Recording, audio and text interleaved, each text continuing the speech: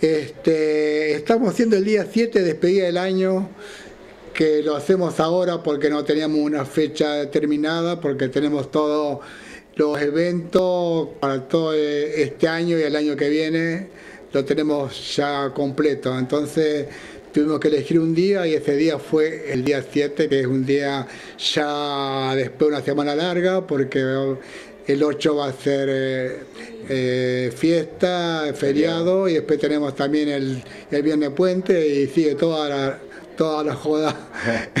Así que bueno, te lo digo. arrancar de fiesta, digamos, ese fin de semana. Y sí, vamos a hacer de fiesta en fiesta, como eh, acostumbramos los argentinos.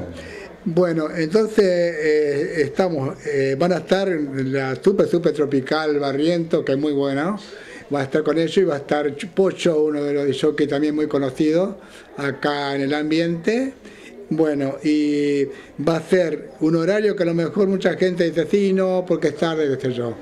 Pero bueno, de las 20 horas, el día 7 a las 20 horas, hasta las 2 de la mañana o mucho más, depende de, la resistencia de, nuestros socios.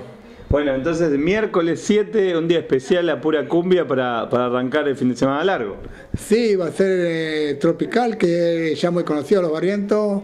Después Pocho también, como dicho, que es muy conocido también acá. Y vamos a tratar de, que se divierta la gente, nuestros socios y lo que nos sean.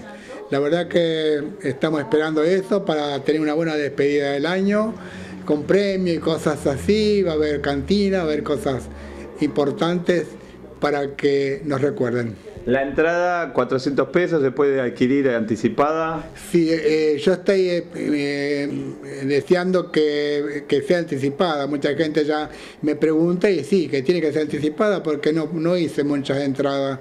Hice 200 entradas nada más para que estén cómodos y para que la gente también aproveche esta oportunidad.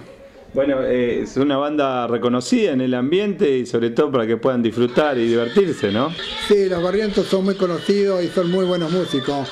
Y bueno, también Pocho ya lo conoce como de jockey, que completan todo. Este, por eso te digo, Javier, que va a ser muy bueno. el ambiente muy lindo y la gente ya está preguntando, por eso espero que vengan a comprar las entradas.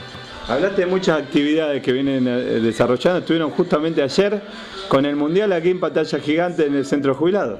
Sí, ayer nos sorprendió el municipio con pantalla gigante, ya de las 6 de la mañana ya había gente acá, Iba, hay una, hubo también una, este, un desayuno con de todo un poco, este, con premios, había 400 personas. Así que le agradezco mucho al municipio por pensar en nosotros. Y creo que también el sábado vamos a hacer igual. ¿Se sumaron entonces los, abuelos, la gente de aquí de la zona? Se sumaron todos, la verdad que no podía creer que estén acá a las 6 de la mañana. Todo el grupo, pero 400 personas, no poca.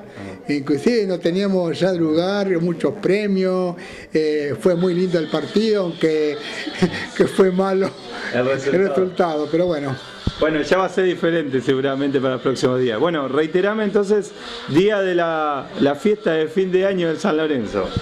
Sí, el, el día 7 a las 20 horas este, hasta las 2 de la mañana y si sigue más vamos a seguirla.